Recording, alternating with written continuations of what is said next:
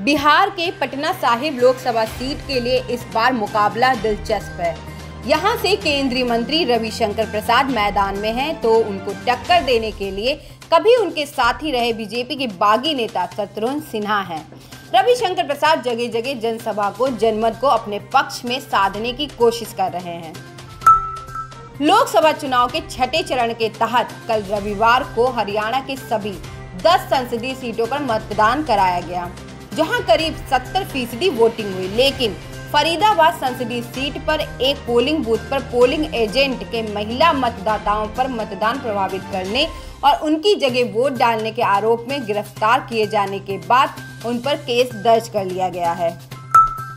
गुरदासपुर में बेटे सनी देवल के लिए लोकसभा चुनाव कैंपन करने पहुँचे एक्टर धर्मेंद्र का एक बयान। सियासी गलियारे में दिलचस्पी से सुना जा रहा है। दरअसल धर्मेंद्र के बड़े बेटे सनी देवल बीजेपी के टिकट पर पंजाब की गुरदासपुर लोकसभा सीट से चुनाव लड़ रहे हैं। उनके खिलाफ कांग्रेस के उम्मीदवार और बलराम जाखड़ के बेटे सुनील जाखड़ उम्मीदवार हैं।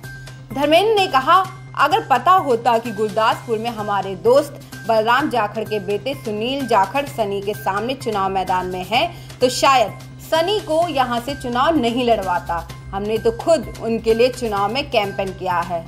हम राजनीति की तो एबीसी नहीं जानते। हाँ देशभक्ति हमारे अंदर कूट कूट के भरी हुई है।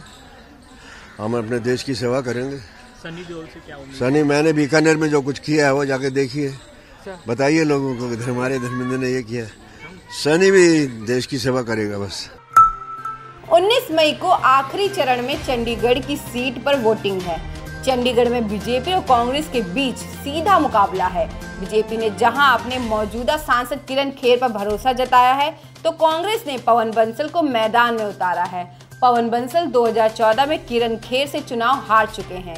किरण खेर को उम्मीद है कि चंडीगढ़ उनके काम और मोदी सरकार के नाम पर वोट देगी। किरण खेर छोटी छोटी सभाएँ कर अपने लिए वोट मांग रही हैं।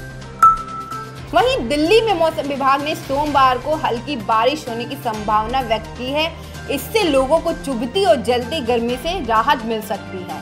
मौसम विभाग ने अनुमान लगाया है कि 13, 14, 15 मई को राजधानी दिल्ली के साथ साथ एनसीआर के दूसरे शहरों नोएडा गाजियाबाद फरीदाबाद गुरुग्राम के अलग अलग हिस्सों में हल्की बारिश होने की संभावनाएँ हैं।